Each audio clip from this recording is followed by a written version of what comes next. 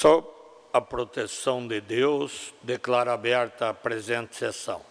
Convido o senhor secretário Adoc, deputado Neudis Sareta, para, para proceder à leitura das atas das últimas sessões.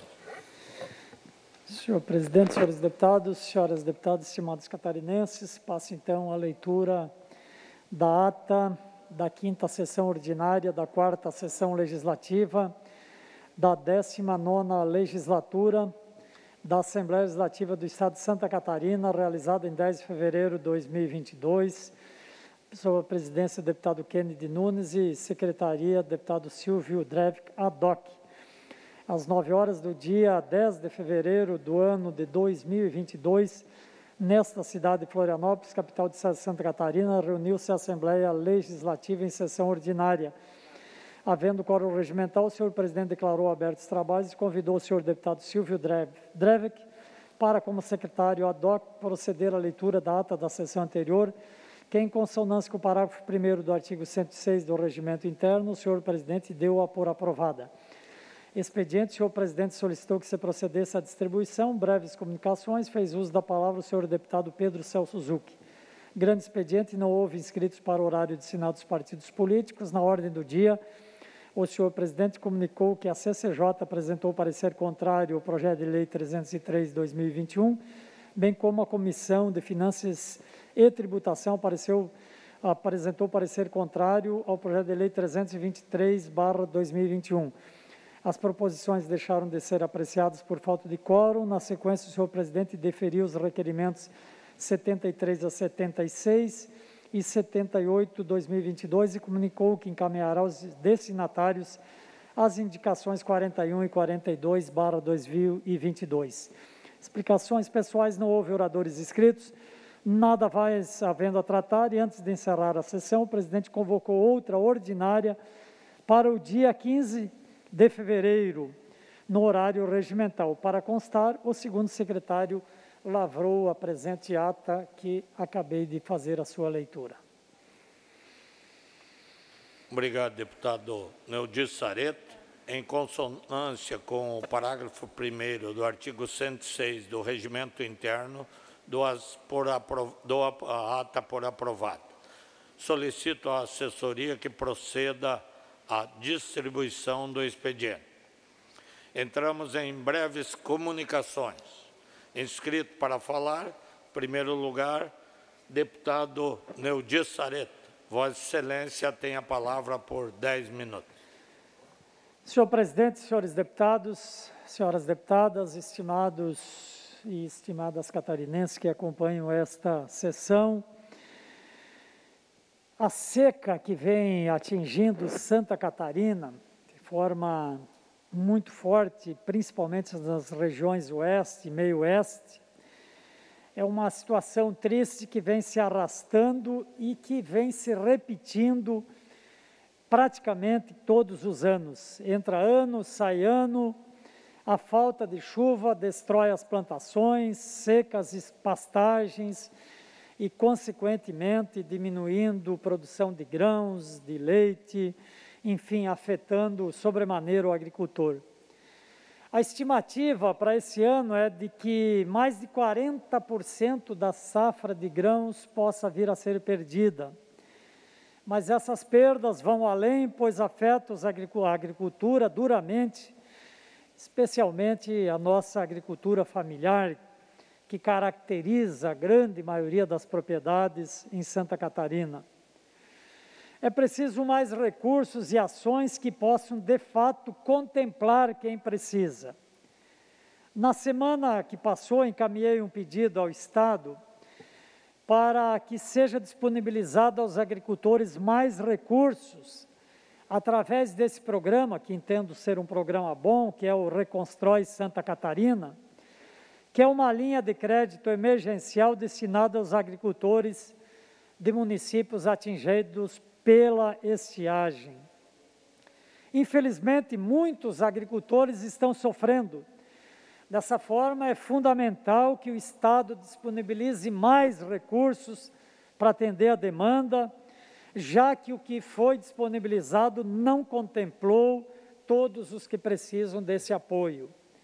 Em relação a esse programa, muitos agricultores não conseguiram acessar o auxílio, por isso, inclusive, estão se inscrevendo lá numa fila de espera, na esperança de acessarem o crédito de 10 mil reais para a recomposição de pastagem, aquisição de sementes e alimentação animal.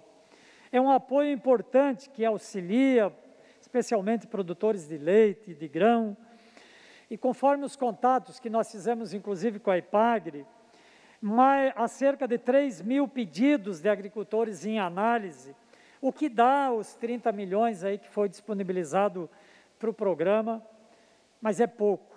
É pouco esses 30 milhões diante da quantia de número atingidos dos agricultores.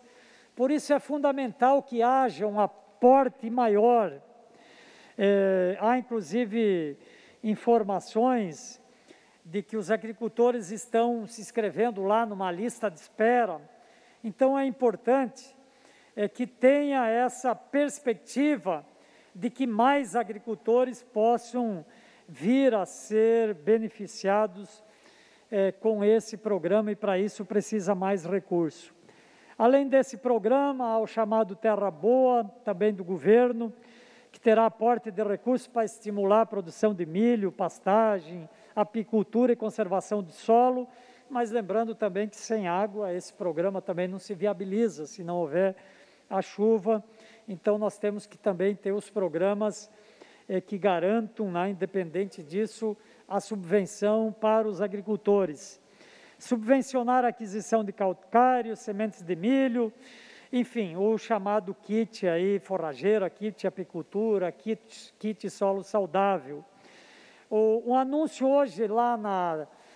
Hoje está, teve a abertura da 16ª Tecnoeste, em Concórdia. O governo anunciou lá esse Terra Boa, passo importante, eu espero que isso de fato seja viabilizado. E faço inclusive aqui um parêntese para divulgar o Tecnoeste, que está acontecendo em Concórdia, é, organizado pela Coperd, a, a Cooperativa de Produção e Consumo Concórdia. É um grande evento e nós desejamos sucesso lá ao evento. Não estivemos na abertura em função dos compromissos aqui da casa, inclusive com, com a comissão permanente que participamos de manhã, mas estamos acompanhando lá a edição do Tecnoeste e houve lá esse anúncio também. E sobre esse programa, Sobre o Terra Boa, eu encaminhei também um pedido do governo do estado que conceda aí 100% de desconto no próximo troca-troca de semente eh, de milho do programa. Eu quero também me reportar, porque amanhã nós eh, temos inclusive a bancada do S, que tem atuado em conjunto nessas questões, deputado Celso Pedro Celso Zucchi, Vossa Excelência, que assumiu agora eh, como deputado estadual, nós temos feito uma articulação junto com as bancadas, com a bancada do Oeste, e amanhã, inclusive, temos uma reunião com o secretário da Agricultura, da Casa Civil, para discutirmos outras ações emergenciais para a questão da estiagem, deputado Maurício Vassilensky que participa, deputada Luciane, da bancada ativamente. E eu também quero lembrar que amanhã as entidades eh, do movimento da agricultura familiar e via campesina em Santa Catarina também estão fazendo uma série de manifestações públicas em diversas cidades da região sul do país e também do Mato Grosso do Sul, para reivindicar providências, nesse caso mais especificamente, claro, dos estados também, que é o que nós estamos reivindicando, mas também do governo federal. Inclusive a ministra esteve recentemente aqui em Santa Catarina, mas na prática não anunciou nada, né? É, houve aquele, aquela, enfim, aquele evento e isso há uma cobrança que não fique só com os estados, que venha uma política federal também, os governos têm que ajudar os agricultores, esses agricultores familiares, um setor fundamental é, para a população, e estão passando uma situação extremamente difícil. Essa pauta, do qual, como eu disse, nós, inclusive nós da, da minha bancada, da bancada do PT, Celso, você participa também, nós fizemos uma nota, inclusive, de apoio, estamos repercutindo aqui, porque é importante que os governos olhem aquilo que está aqui colocado não é da cabeça dos dirigentes, é a necessidade de quem está lá na prática, o agricultor. Esse final de semana, inclusive, nos giros que fiz, constatei também de perto né, a questão da estiagem, o sofrimento. Hoje de manhã, ainda com a presença de secretário de Agricultura de, de municípios em meu gabinete, eles também nos relatavam essa dificuldade, eh, por exemplo, desse programa do governo, que é bom, já disse antes que é bom, reconstrói, mas que acabou o recurso, que tem que ter mais recursos, eh, dos, das questões federais também, que até agora nada foi anunciado, tem reivindicação para prorrogação das parcelas vencidas e vincendas das operações de crédito rural do Plano Safra 2021-2022, é, para pelo menos um ano após a última prestação, com subsídio nos juros, percentual de rebate, é, pedido de repactuação de dívidas motivados por eventos climáticos, né, ocorrido aí nos últimos anos, com possibilidade de repate, criação de linha de crédito emergencial de pelo menos 40 mil por beneficiário, é, com carência e prazo para pagamento, garantia de abastecimento de milho via Conab, com um subsídio no valor, aquisição de leite pelo governo federal via PAA, para garantir preço justo pago aos agricultores, enfim, uma série de reivindicações que estão também nessa pauta de reivindicações das entidades da agricultura familiar, é, que estão se mobilizando e que amanhã farão é, publicamente atos é, em defesa desta pauta, da qual nós nos solidarizamos também e estamos aqui repercutindo. Lembrando que sem agricultura, sem agricultura familiar, não há comida na mesa, nem na roça, nem na cidade. Por isso é que fizemos um apelo para mais ações, mais recursos e mais apoio aos agricultores de Santa Catarina. Obrigado, senhor presidente. Obrigado, deputado Neudica Sareta. Ainda nas breves comunicações, com a palavra a deputada Luciane Carminati.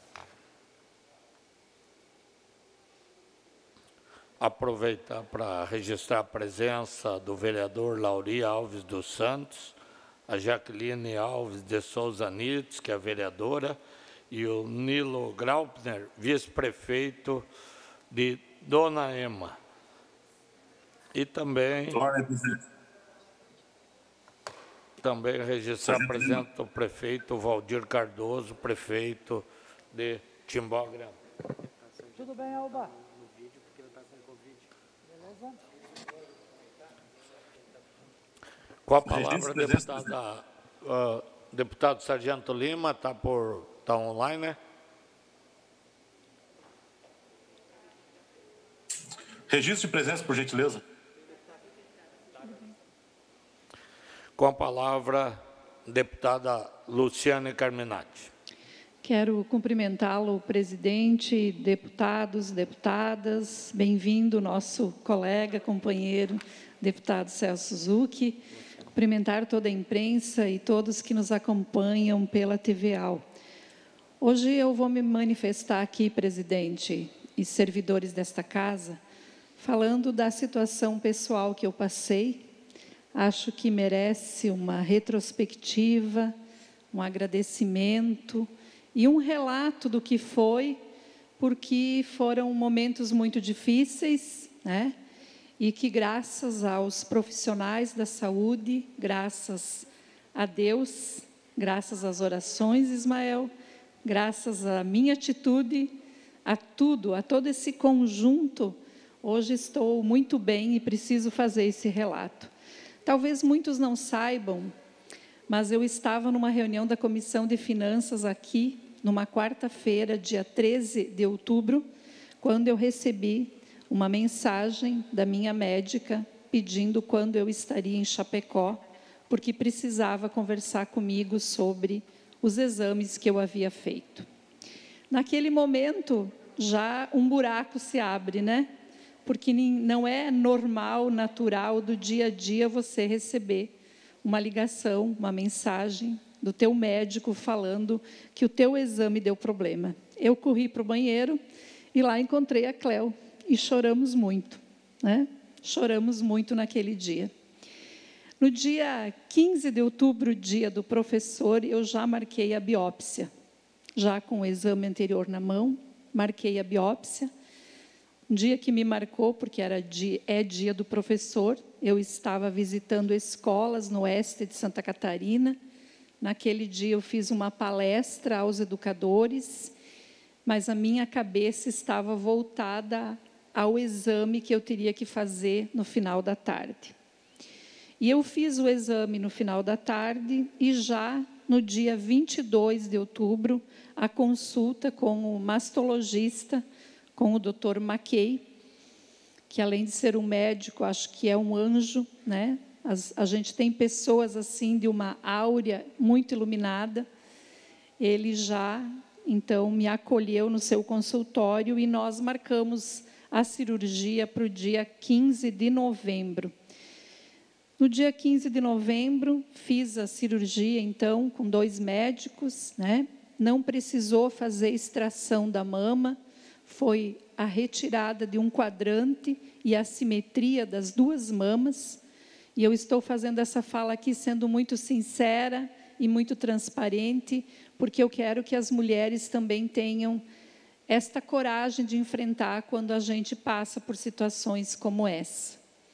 Esses dois médicos foram espetaculares, né, o doutor Maquei e a doutora Estela, junto com toda a equipe dos profissionais que estiveram conosco, sempre se preocupando com a recuperação física e a cabeça. Cuidado com a cabeça, cuida da cabeça, você tem que estar bem.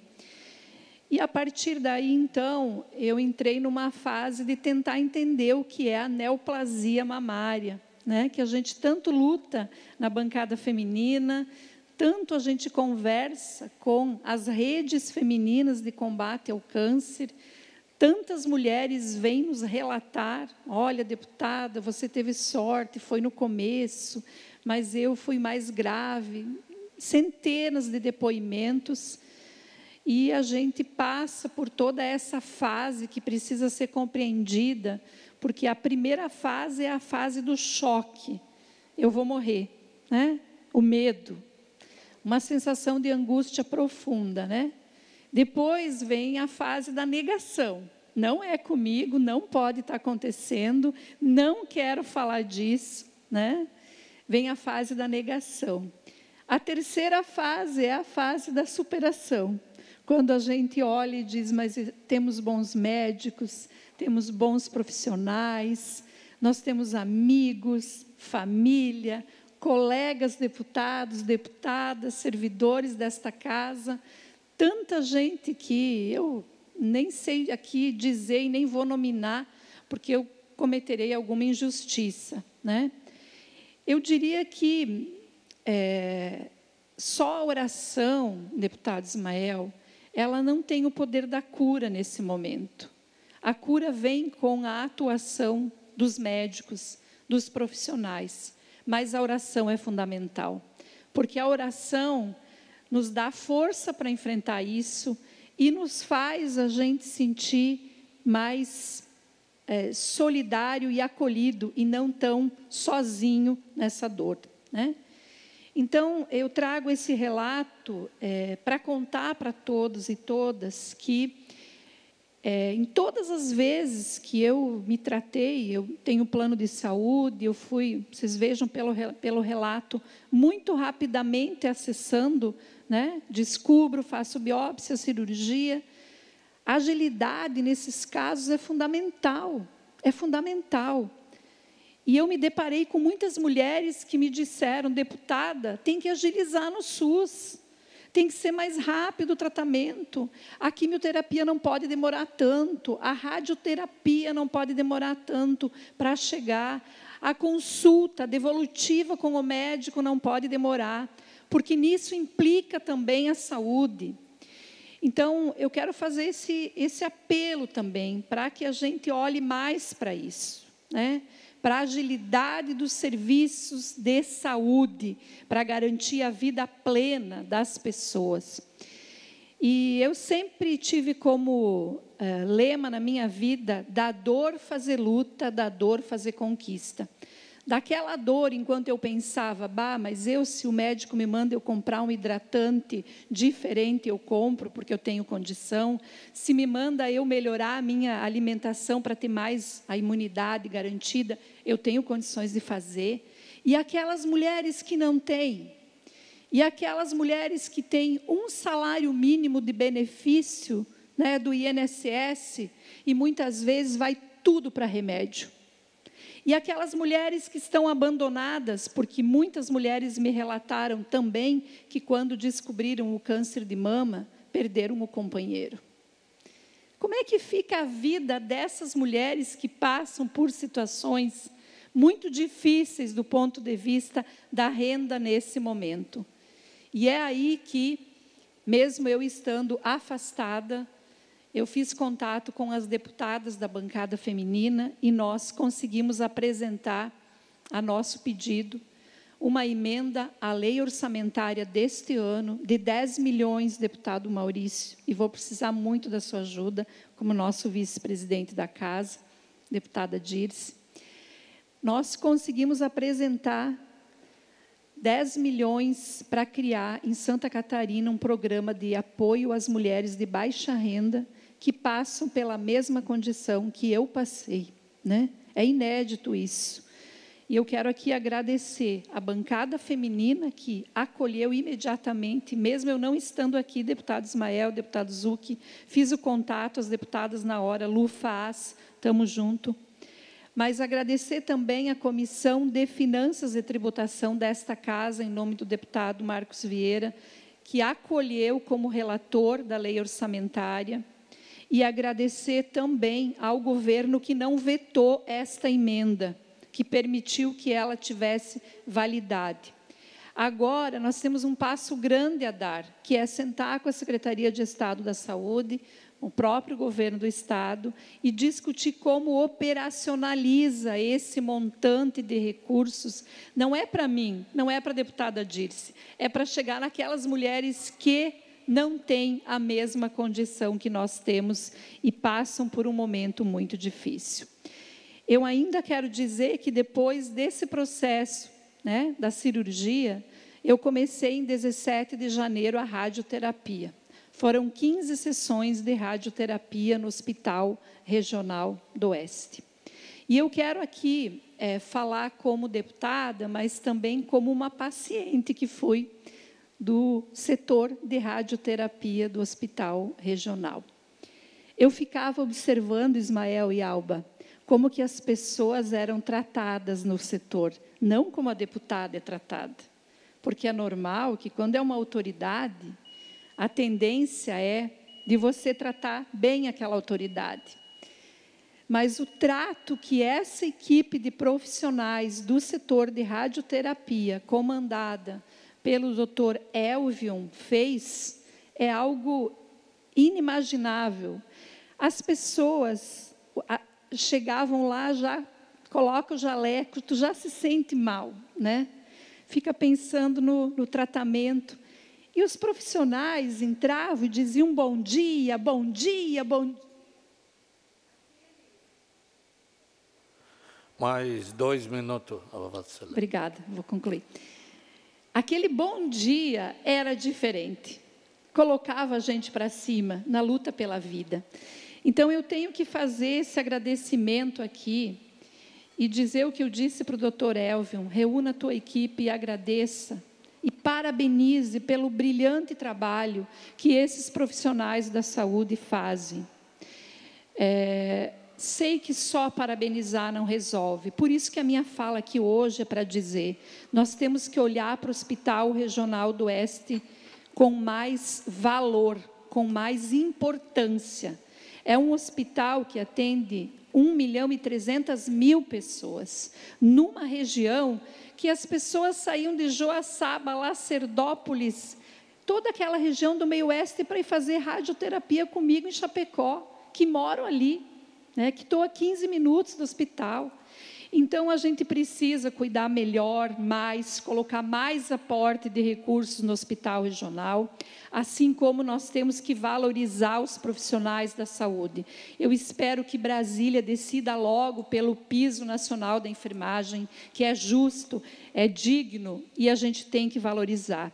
E quero agradecer mais uma vez aqui a todas as pessoas eu estou falando aqui dos próximos daqui, estou falando da família, estou falando de pessoas que eu nunca falei e me mandaram mensagens, estou falando de várias autoridades, estou falando do Provim, que é um grupo de mulheres a partir da rede feminina, estou falando do serviço de saúde. Muita gratidão por tudo, estou bem a neoplasia foi de detectada bem no início e com a mamografia bem no início a gente tem cura. Então, muito obrigado e viva a saúde, viva a vida. E que a gente possa ter mais investimentos no SUS, mais investimentos e que esses 10 milhões sirva como uma boa experiência para garantir a saúde plena das nossas mulheres. Muito Permite obrigada. uma parte, deputada? Sim, Ismael. É, eu quero me congratular com Vossa Senhoria por essa conquista particular, mas que diz respeito a toda essa casa. É, e falo isso porque minha esposa vivenciou isso há alguns anos, exatamente a mesma esteira que a Vossa Excelência teve que passar, né, de é, cirurgias e tratamento, infelizmente superou. Mas eu quero destacar aqui não só a equipe médica, o apoio eh, dos amigos, mas principalmente vejo isso no seu rosto, nos seus olhos, o brilho da fé. Não é? A esperança supera as montanhas. Parabéns. Obrigada. Obrigada. Parabéns, deputada Luciane, presidindo, falo em nome dos 40 deputados, alegria em recebê-la com essa felicidade e essa preocupação de estender esse mesmo tratamento, cuidado para todas as mulheres do, do Estado. Tá, obrigado. Questão de ordem, presidente. Gostaria também de externar aqui um abraço à deputada Luciane Carminati. É, desde o início que soube dessa situação, é, me solidarizei com a senhora. Minha mãe também passou por algo muito parecido, superou, e eu fico muito feliz em é, ver o, o, sentimento, a emoção, a conquista pessoal, a melhora, que a senhora está bem de saúde e é muito bem-vinda novamente nesse parlamento. Parabéns. Obrigado, deputado Alba. Não havendo mais oradores inscritos nas breves comunicações, nós passamos ao horário destinado aos partidos políticos. Hoje, o primeiro horário pertence ao PSL.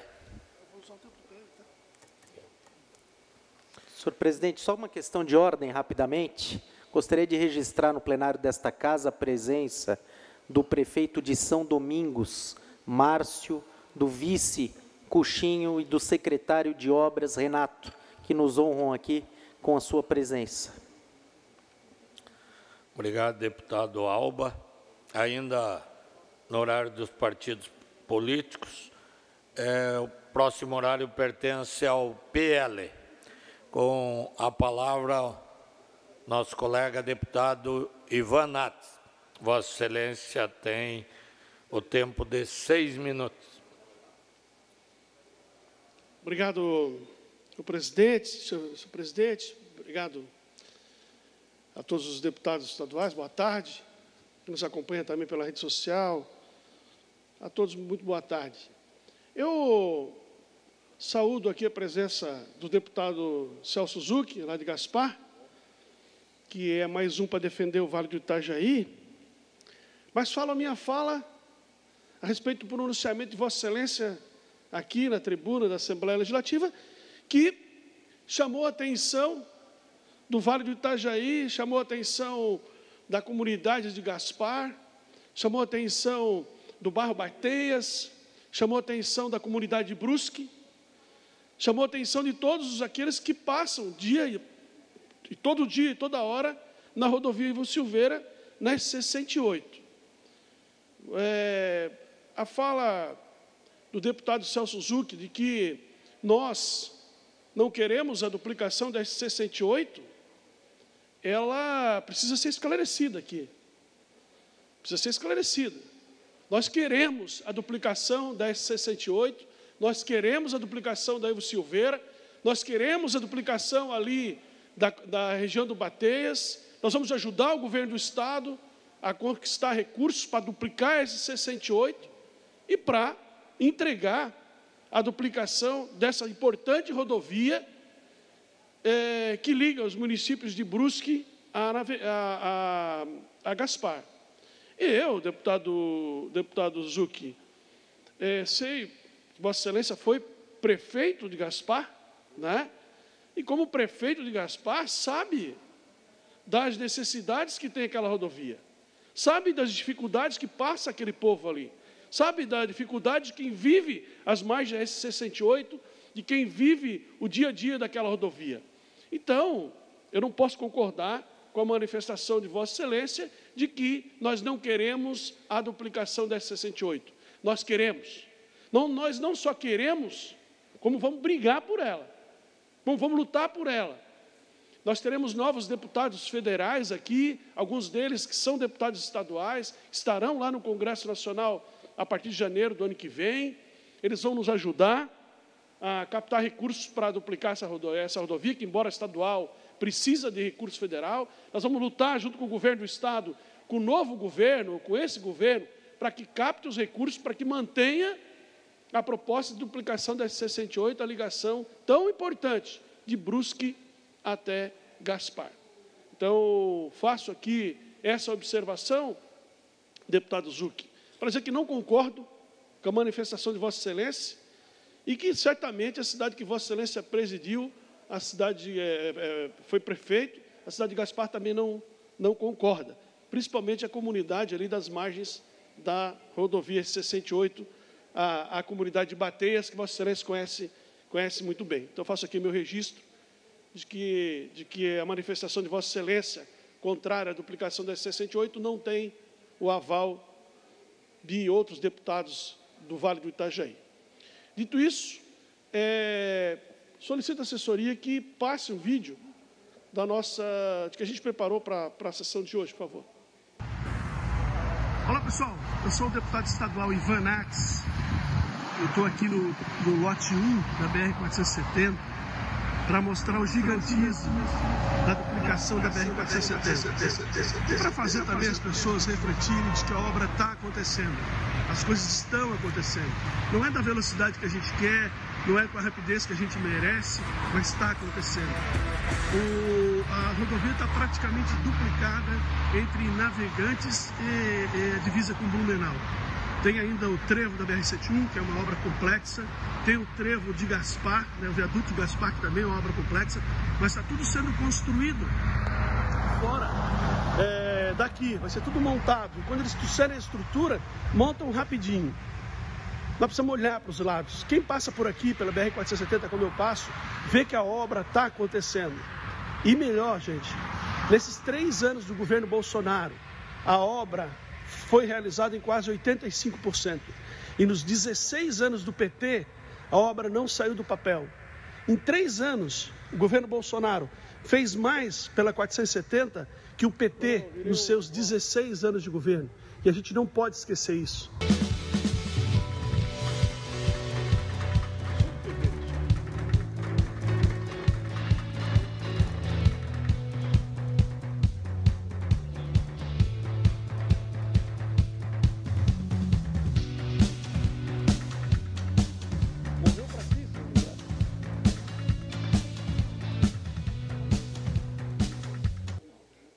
Faço esse registro para que as pessoas observarem que a obra está andando, presidente Maurício Kudilac, deputado é, Alba, Vossa Excelência que certamente nos representa lá no Congresso Nacional, a obra está andando. Está acontecendo, quem está passando todo dia pela 470, deputado Ismael, está vendo que a obra está acontecendo. Não é na velocidade que a gente quer, não é no ritmo que a gente quer, não é na forma que a gente gostaria que fosse, mas é uma obra difícil, é uma obra complexa, é uma obra cara, e que não andou no governo passado e que anda agora no governo do presidente Bolsonaro. E nós temos que olhar para a obra e ver que ela acontece, que ela está sendo executada e que ela vai, em breve, ser entregue 100% para a comunidade é, catarinense. Os recursos que o governo federal tem aportado, os recursos que o governo do estado tem aportado, a luta pela BR-470 não é em vão. É uma luta que vai é, é, é, retribuir para todos em, em, em, conquistas para a nossa comunidade tudo aquilo que a gente está colocando em recursos ali na 470. Então, eu estou muito feliz de ver a obra acontecendo, de a obra sendo executada, realizada, e, e no final de 2024, conforme o cronograma apresentado pelo ministro Tarcísio Freitas, a gente terá a conclusão da BR-470. Boa parte dela está sendo construída fora dali, as estruturas de viaduto estão sendo, estão sendo montadas todas fora do, da, do, do, do, carrossel da rodovia, então as pessoas não veem.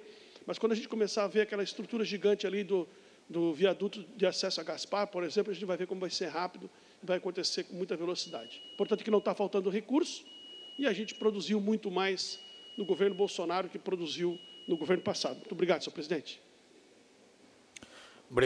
Obrigado, deputado Ivan Nats. O próximo horário pertence ao bloco PDT, PSDB, Republicanos. Só uma questão de ordem, senhor presidente. Pela ordem, deputado... Gostaria também de registrar a presença da prefeita Lucy, do município de Iomerê, que nos honra muito aqui com a sua presença. Nossa saudação também ao prefeito. Próximo horário pertence ao bloco PP-PSB. Próximo horário pertence ao bloco PSD-PSC. Próximo horário pertence ao PT. Com a palavra, por até seis minutos, deputado Celso Suzuki.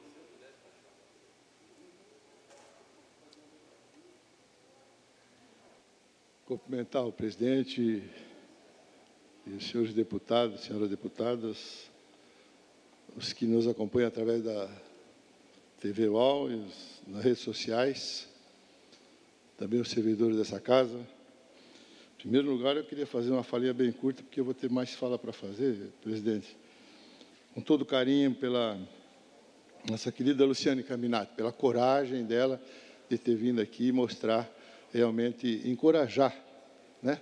A palavra de, de, de coragem para as mulheres. Isso é extremamente importante. É, presidente, eu fiz uma indicação, um pedido, aliás, né? Para é, a Secretaria de Saúde do Estado, PIC 28, do, 9 de 2022, com relação às, às quadras de esportes nas escolas estaduais. Por que, que eu falo isso?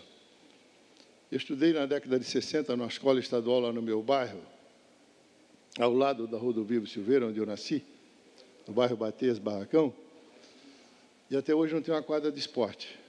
Nosso bairro lá hoje tem aproximadamente 5 mil moradores. É uma escola grande, e necessita com urgência de uma quadra de esporte. Porque quem é educador sabe da importância de um espaço desse para atender a garotada, principalmente dia de chuva, etc. Então, eu sempre tive muito carinho com relação à educação nos meus três mandatos de prefeito, todas as escolas e todos os CDIs do município de Gaspar têm quadra de esporte ou ginásio de esporte. Então, eu acredito que o Estado tem condições, sim, tem dinheiro para fazer. Só falta um carinho a mais aí do nosso secretário, e eu tenho certeza que será atendido. Eu, eu não ia voltar nesse assunto, mas como foi falado aqui, eu não sei como é que funciona ainda muito bem a questão do tempo, por eu ter sido mencionado. É, a Rodovia Silveira, é, presidente, e quem nos acompanha, é uma rodovia quase toda é, perímetro urbano. Tem um trecho já de 3 quilômetros da rodovia que está municipalizado. E esse trecho, é, e essa rodovia, ela liga Gaspar e Brusque, que é uma região extremamente produtiva. Eu moro aí, tenho empreendimento aí nesse bairro, bairro Bateone, que está pretendendo se, se duplicar. Esta promessa de duplicação vem sendo feita a cada quatro anos. Há quatro anos atrás, foram lá às vésperas das eleições e fizeram o mesmo, é o mesmo projeto. Agora, de novo, o mesmo projeto. Então, a cada quatro anos, é, existe alguém aí preparado para ir lá fazer esse tipo de promessa, e depois a gente sabe que não sai do papel, mesmo porque é uma obra de 400 milhões de reais, a gente sabe que não, não vai acontecer. Então, o que nós estamos pedindo pouco, se nem o pouco nós estamos ganhando, que é, é tapar os buracos da rua, passei lá hoje de manhã, porque eu moro ao lado da rodovia Silveira, minha casa fica do ladinho, nasci ali. Nem os buracos da rua, deputado, está sendo tampado. Nós vamos querer, eles vão prometer uma obra de quatro. E pensa que nós somos o quê? Nós somos gente, pô, nós estamos empreendendo, gerando emprego e renda naquela região. Então, é um discurso muito pequeno para a gente estar tá, tá debatendo, porque o vereador do MDB do bairro fez um abaixo assinado pedindo lá para as pessoas se queriam duplicar ou queriam a revitalização. Existe um, um abaixo assinado lá de todos os empresários os, das, da, da margem da rodovia Silveira, uma indicação na Câmara de Vereadores do vereador do MDB, foi aprovado por unanimidade, querendo a municipalização da rodovia e que o, que, que o Estado só, só fizesse duas coisas. Revitalizasse essa rodovia, deixasse ela decente e fizesse uma sinalização. Dizendo, nós não queremos muito, nós só queremos isso. Então, é, é, é, isso é que é extremamente importante a gente falar, para que a gente não saia com um discurso furado aqui, para a comunidade, ah, eu vou prometer que eu vou ser deputado lá dois anos e vou duplicar a rodovia SC. Não vai. Nós sabemos que não. 400 milhões, vamos pôr esse dinheiro, deputado, se tiver parte desse dinheiro, foi apresentado há seis anos atrás um projeto lá na nossa comunidade, do contorno viário que pega do Bela Vista, o, senhor, o, senhor, sabe onde que vai, até a, a, a, a rodovia Silveira, que vai juntar na ponte do vale que eu construí com muito custo, né, que já é pista dupla que conecta na BR-470. Já está duplicada. A, a ponte eu já fiz dupla, para dar continuidade e fazer o contorno viário da nossa cidade de Gaspar. Mas não, não faz um palmo. O prefeito lá fez um trecho simples, dentro de um pasto que já está todo precisando de reforma, acabou de fazer, faz seis meses, 900, 900 metros, foi quase 12 milhões de reais, pista simples, eu estou falando. E eu construí uma ponte que liga a BR-470 com 42 milhões de reais. Então, quanto a BR-470, eu não vou falar, porque é, eu, não, eu não gostaria de estar perdendo meu tempo aqui, com relação à BR-470, mas o deputado que me antecedeu sabe muito bem a história da BR-470, sabe muito bem como começou. Foram dez anos só para se tirar a licença ambiental da BR-470. Eu acompanhei no meu primeiro mandato, quando fui prefeito em 2001 2004. Começou sim, no governo do presidente Lula. Começou sim, deu continuidade sim, no governo da presidente Dilma. Só não avançou mais mais um minuto para Vossa Excelência concluir, deputado. A obra só não avançou mais porque deram o golpe, tiraram ela do governo, ela não pôde mais trabalhar quando ela assumiu o segundo mandato como presidente. Infelizmente, isso aconteceu. Né? E a notícia que eu li na imprensa, tem sido bastante comentada, de que o, o atual governo, lá, que o senhor se refere tanto aí, com tanta ênfase, fez um corte, me parece, de 47 milhões da nossa rodovia. Nós gostaríamos muito que ele voltasse com esse dinheiro. Vamos torcer, que se, depender de, se dependesse de mim, só não voto nele, mas gostaria de que ele voltasse com os 40, com os 40 e poucos milhões lá para a nossa rodovia e é, é, é BR-470 assim. E que o Estado, se tem esse dinheiro, sobrando esses 400 milhões, ligue, faça a ligação lá de Blumenau, Gaspar, Guabiruba, são só 12 quilômetros. Vai ser extremamente importante para aquela região produtora que nós temos aí. Obrigado. Obrigado, deputado. Ainda no horário destinado aos partidos políticos, horário é do bloco MDB Novo. Senhor presidente, eu quero só fazer uma correção. É bloco novo e o MDB está junto com o Novo nesse bloco, então, só para deixar, deixar claro aqui, presidente. Mas, presidente, eu não conheço o deputado que me antecedeu, mas eu fico, é, de certa forma, é, até é inusitado aqui vermos deputados defendendo o governo do PT, é, o ex-presidente Lula, ex-presidente Dilma, porque, de fato, muitas vezes o que se vê em Santa Catarina hoje é um, com razão, é um petismo constrangido. Então é, é até inusitado e, de certa forma, faz até falta para o bom debate aqui no parlamento nós termos um, um, petismo que é admitido, né? que tem coragem de ser, de defender o, o PT aqui. Isso é, é bom para o é debate, porque estava fazendo falta aqui um pouco de. Uh, tinha muito constrangimento aqui nessa casa aqui por parte dos deputados que gostam né, desse tipo de, de governo, que com certeza é o, não, é, não, é, o tipo de governo que eu me alinho, mas é, me pareceu um pouco inusitado e é, parabenizo pela coragem de, de defender aqui o, o governo aqui. É, mas, senhor presidente, infelizmente, mais uma vez eu vou usar esse microfone para falar de algo que todo brasileiro sabe, sente, todo brasileiro conhece muito bem, que é o peso do Estado nas nossas costas. O Estado brasileiro é um parasita. Ele não tem pernas próprias. Ele monta em cima do brasileiro e se utiliza das pernas do brasileiro para caminhar. E o estado de Santa Catarina, infelizmente, o governo de Santa Catarina, Santa Catarina não é diferente. Ele cada vez é maior e mais pesado e cada vez mais ele se sustenta nas pernas frágeis dos catarinenses, que cada vez, infelizmente, estão mais magras. Porque, como bem falou Rafael Dabdab, presidente da Brasel de Santa Catarina, um verdadeiro guerreiro do setor, o governo de Santa Catarina enriquece, enquanto a população empobreceu durante a pandemia. Isso é muito curioso e é, um, é sintomático de como funciona o Estado brasileiro e o Estado catarinense. Nós passamos por dois anos de corona crise, onde milhares de pessoas perderam o emprego, onde milhares de negócios foram fechados, onde a poupança e a riqueza acumulada de famílias por uma vida inteira foram simplesmente evaporadas por conta de uma crise. E nesse mesmo período onde o catarinense se tornou mais pobre, onde as pernas dos catarinenses se tornaram mais magras, o que aconteceu? O governo arrecadou como nunca. E é importante falar a palavra arrecadação da forma como ela de fato significa, como o que ela de fato significa.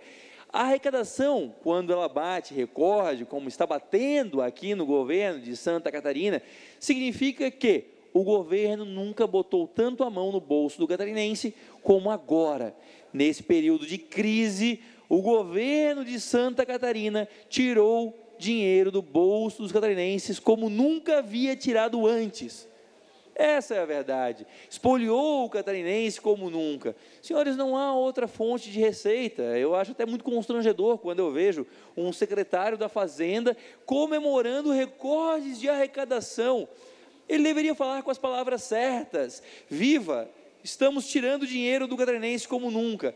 Porque eu quero saber de qual outra forma é possível você bater recorde de arrecadação, se não tirando do catarinense. É a única forma. E para quê?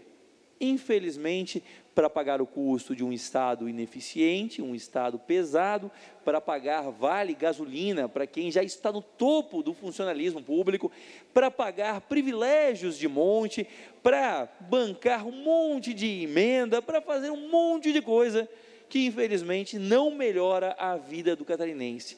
Portanto, cada vez se tira mais do catarinense, mesmo em período de crise, e o catarinense cada vez fica com menos. É a tônica. O de cima sobe, o de baixo desce.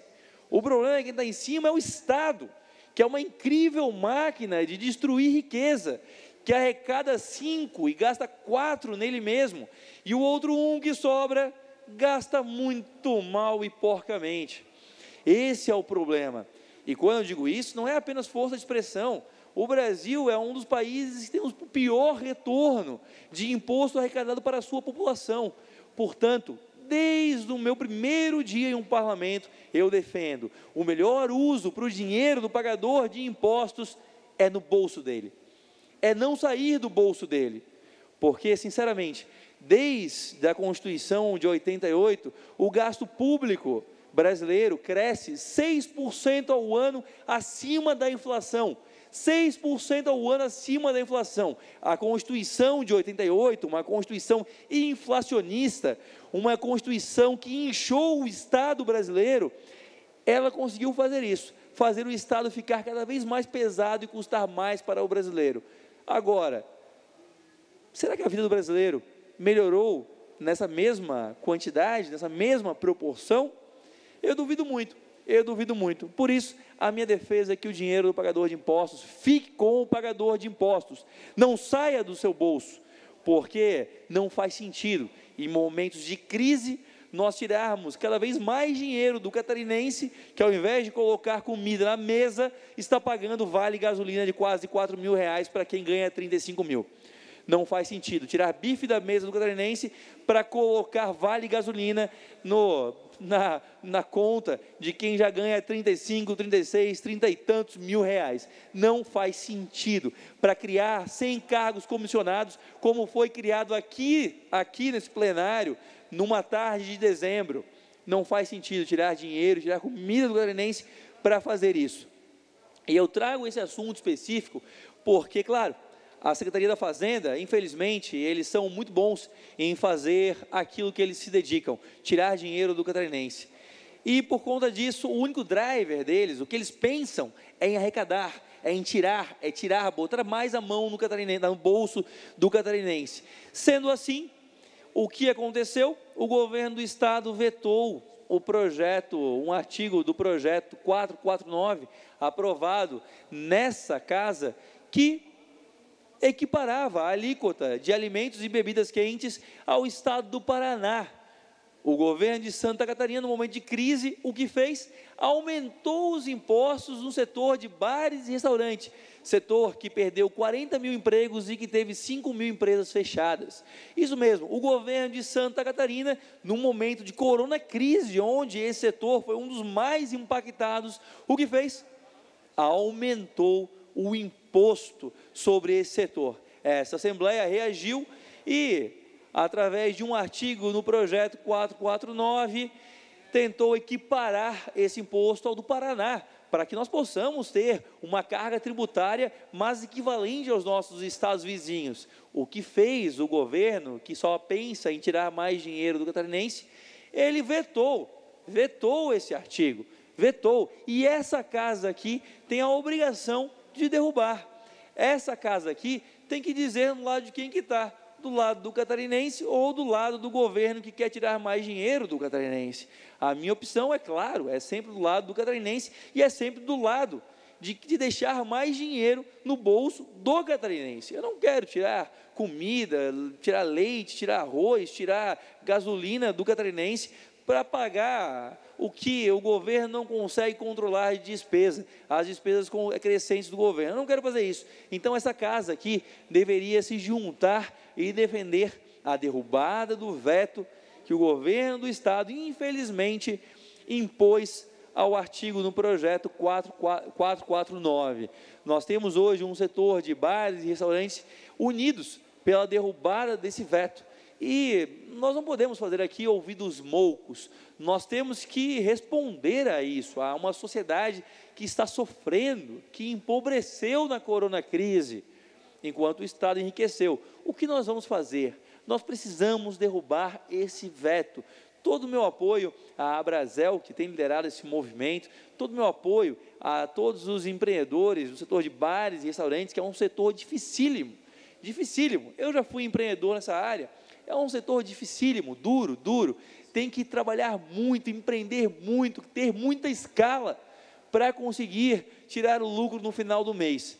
Portanto, não faz sentido esse setor que foi tão magoado durante essa crise não ter aqui a atenção dos deputados dessa casa. Vamos derrubar esse, esse veto, que aliás já devia ter vindo para o plenário também, né? A CCJ voltou a funcionar, que façamos logo a análise e que esse projeto possa vir logo ao plenário para que nós possamos derrubar esse, esse veto insensível, não há outra palavra para classificar como um veto insensível do governo do Estado. Novamente, o Estado brasileiro e o Estado de Santa Catarina é isso. É uma incrível máquina de tirar dinheiro das pessoas para gastar de forma ineficiente com as pessoas. Porque quando o Estado gasta com ele próprio, aí ele é muito bom. Né? Para quem vive do Estado, o Estado é muito generoso. Convenhamos, né? Ah, salários que batem recordes, gratificações que fogem do teto, super salários que não pagam nem imposto de renda, verbas indenizatórias que não, que não, que não entram no cálculo do teto do funcionalismo público. É uma vida boa demais para quem vive do Estado. Mas, infelizmente, isso está pesando demais do lado de fora, para quem paga tudo isso. Quem paga tudo isso está sofrendo. E muitas vezes nós aqui corremos o risco de achar que essas pressões que nós recebemos nos nossos gabinetes, as, as, corporações organizadas que vêm aqui pressionar os, pressionar os deputados, que o que nós votamos aqui no plenário, que essa é a realidade do catarinense. Quero dizer para vocês que não é não, tá? Lá fora, nós temos um setor produtivo que sofre para pagar tudo isso, que realmente pena para pagar tudo isso. E nós precisamos um pouquinho dar atenção para esse setor. Existe um, um livro que eu gosto muito, que é a Revolta de Atlas, de Ayn Rand. E nesse livro, a autora fala sobre o sumiço daqueles que empreendem em um Estado que se tornou tão burocrático, pesado e cobrador de impostos, que os empreendedores simplesmente fogem desse país, somem. E aí começa a faltar quem gera riqueza. O que será de Santa Catarina o dia que os nossos empreendedores resolverem parar de gerar riqueza? Porque é isso que nós estamos fazendo. Nós estamos estimulando eles a pararem de produzir, arriscar o seu capital, arriscar a riqueza da sua família, o capital acumulado da sua família, para empreenderem. Nós estamos criando esse estímulo. E aí, o que vai acontecer? Será que esse dia nós ficaremos surpresos? Quando a fonte secar, nós diremos: Meu Deus, o que aconteceu? É isso que nós vamos fazer? Não. Será na hora de nós começarmos a valorizar aquele que gera riqueza, aquele que empreende. Convenhamos, olha, vou ser muito claro aqui, me desculpa se ofender alguém, mas o nosso trabalho aqui é fácil. O trabalho no governo é fácil. Difícil é empreender lá fora. Difícil é entrar, na, é concorrer. Difícil é você viver com um Estado que é cada vez mais burocrático, que só te pensa em cobrar impostos e criar dificuldades para vocês. O nosso trabalho aqui ó, é facílimo. O trabalho de todos que estão no governo é facílimo, quando comparado a quem empreende lá fora. E não se enganem, quem está empreendendo lá fora não é só grande empreendedor, não. Aliás, essa é a minoria. Essa é a minoria. Segundo um estudo do Sebrae, a grande maioria dos empreendedores ganha no máximo dois salários mínimos, trabalha de 12 a 14 horas por dia, não tem férias, não tem décimo terceiro e tem que sustentar esse estado pesado. Portanto, faço um apelo aqui aos deputados, se sensibilizem com o setor produtivo, vamos derrubar o veto do governo. Não vale a pena, gente. Olha, eu, eu sou independente na casa, justamente porque eu quero votar conforme a minha consciência. E eu fico pensando se vale a pena realmente fazer ouvido moucos e ser e não enxergar tudo que o governo faz e tudo que o governo pesa no setor produtivo apenas para ser da base. Vale a pena, sério, eu, não, eu, eu acho que não. É, ser da base para votar tudo, concordar com tudo que o governo faz. Não façam isso não. Vamos derrubar esse veto que, que vale a pena. Mais uma vez eu faço esse apelo à casa, vamos derrubar esse veto.